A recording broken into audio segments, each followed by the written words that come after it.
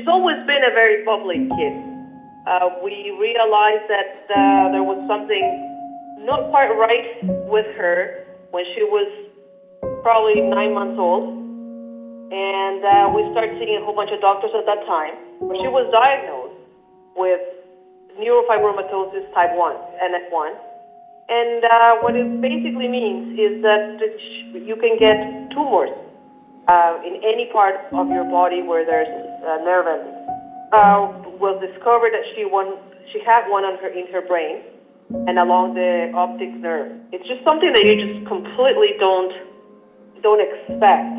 She she she was you know diagnosed when she was little, and you know we at, at the beginning we we didn't realize that she was losing her vision uh, they decided to do some chemotherapy, and then you just get completely shocked, right? I mean, it's, it's, it's just something that you don't expect and you don't understand, and you think that uh, chemotherapy is just for patients with uh, cancer. In this case, she doesn't have cancer, her tumors are not malignant, but she still needed the chemotherapy.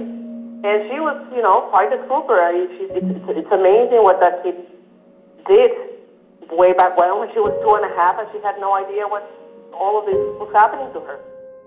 We found the most amazing care for her here at the IWK in Halifax. So they did an MRI and they decided that that tumor had uh, started growing again and that the next course of action and the most aggressive one would be uh, radiation therapy. And so we met with Dr. Rob Rutledge in, at the IWK which was the radiation oncologist for her, he said, you know, there's a Make-A-Wish Foundation in Halifax, and I think that uh, you should talk to them. And so we did. We got in touch with Make-A-Wish and the amazing people that work in Make-A-Wish Atlantic chapter. They said, yeah, no, Brenda, perfect for, um, for a wish. Brenda wanted to go to Paris. It, it, it was one of her goals in life. Make-A-Wish uh, here in Halifax does a fundraiser they invited us for the dinner. And at that dinner, they, they revealed the cake and they said, they called Brenda to the front and they showed her the cake. And the cake had this beautiful photo of the Eiffel Tower and it said on the side, Brenda, you're, you're going to Paris. And, and then Brenda was just like, what? I'm going to Paris? Oh my God, mom. And she started just being very, very happy and she just hugged me. And the only thing I could see was like this huge big tears of, of happiness of, oh my God, I can't believe I, I, I'm, I'm going to Paris.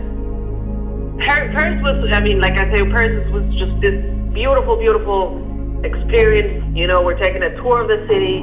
She has her visual aid. Her head is whipping 360 degrees almost, you know, looking at everything and, and trying to get everything in one go. It doesn't matter if she completely loses her vision, she, she will still close her eyes and see the Eiffel Tower and feel the, the river and it, it, it was it was just a beautiful, beautiful experience.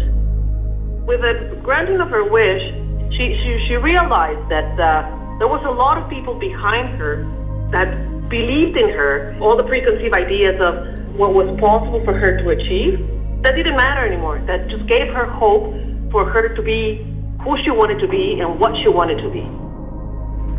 Make a Wish has kept Brenda very involved.